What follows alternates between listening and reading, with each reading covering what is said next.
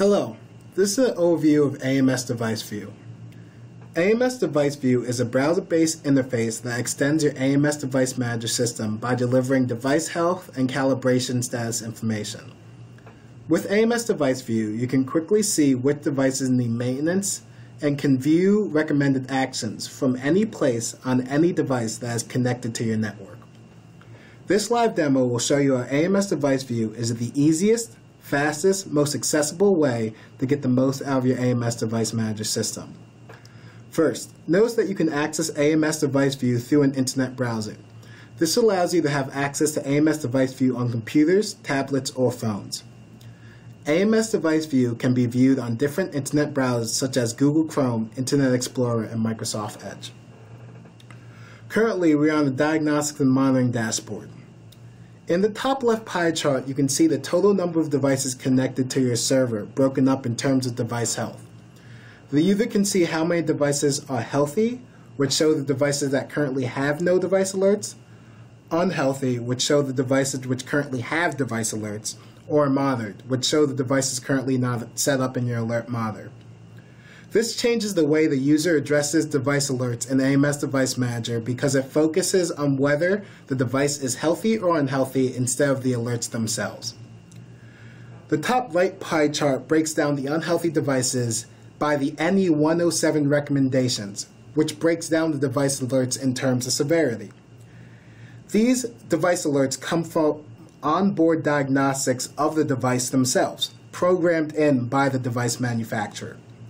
The four severities are unresponsive, failed, degraded, or unknown. The bottom chart is unhealthy list. The user can see how his device health is trending as well as use this list for further analytics. You can change the duration of the history from a week to a month to two months to three months to a year. You also can change the time frame of this duration. If you select a specific day and press view, you can see the unhealthy device history list of that specific day.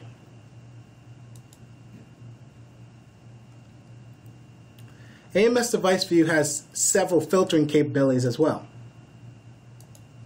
You can filter by network or filter by plant location.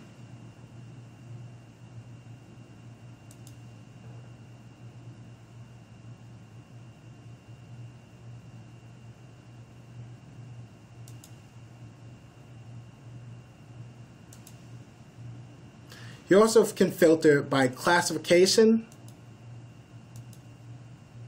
function, group,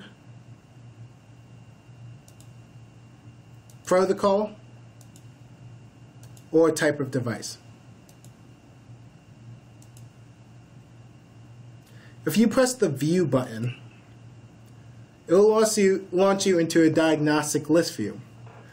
From this list view, you can see the type of device alerts based on the color, the name of the tag, as well as the type of device, the duration since the alert came in, as well as a device group.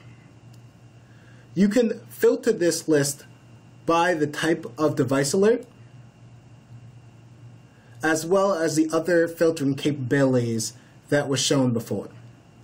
You also can sort this list by tag name, health, device group, and standing time. You can then export this list to Microsoft Excel by clicking the Export button. If you can click into a specific tag, it will launch you into a device page. On the device page, it will show you all the alerts as well as a calibration status for the device, as well as more information such as the location, network, and more.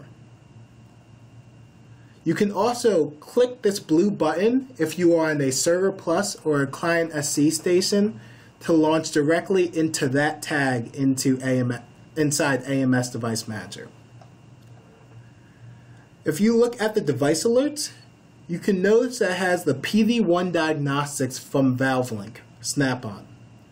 This means that any proactive or predictive maintenance that you do using the snap-ons will be visible from AMS device view.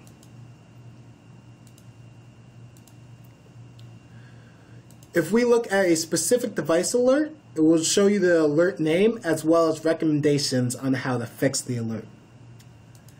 If you press disable alert, you can disable the alert not only for that tag, but for all the devices of that device type. This will allow you to see the alerts that you only want to see as a user.